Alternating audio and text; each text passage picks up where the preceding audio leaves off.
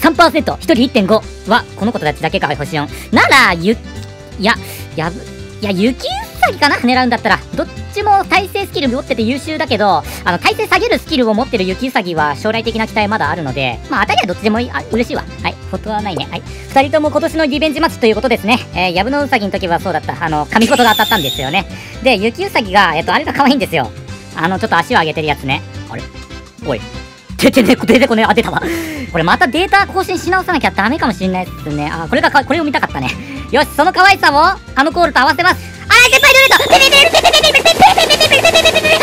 あら、先輩またやっちまった。あ、あれあ、やべ、これまたフリーズするかもしれねえぞ、これ。てか、そもそもこれダメっぽいぞ。あー、もうだ、終わったわ、これ。あれだ。突した瞬間終わったわ。まさに。作品ネタいじるのやめようって言ってんのに 荒井先輩ルーレットミスった瞬間でもう爆心みたいなもんですよ。やっぱね、あの、ちゃんとやらねえとね、あ、もう完全に終わったわもうこいつ出ると、おっと なんか出たし、こっち家ことじゃねえんだろ。いらんよ。もういいよ。だったら爆死にさせてくれよ、潔く。100億パーセント出ないからさ。てかもう、スキップ 聞こえてたね。うん、そうでした。